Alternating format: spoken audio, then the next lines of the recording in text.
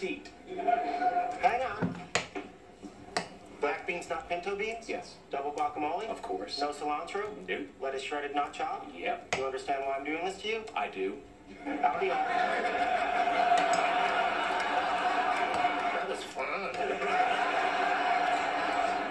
How long can you keep this up? I heard about this professor at MIT who melted down, bought a van, and spent the rest of his life as a mobile dog groomer. He never went back to the university? Mm, only to shampoo Professor Schanberg's Shih Tzu. Sheesh. Yeah, I bet if we all chipped in, we could buy Sheldon the van. But he's afraid of dogs. Yeah, that's the only thing wrong with that plan. Hey, guys, sorry we had to wait, but we are swamped. What's this? Uh, Sheldon took our order. Sheldon doesn't work here.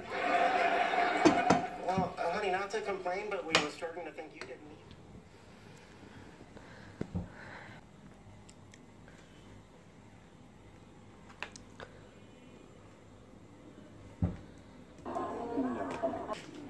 Here, Lauren, used going to be here on French Toast Day, and I thought we agreed that you'd have your conjugal visits in her apartment. We did, but there were extenuating circumstances. I see.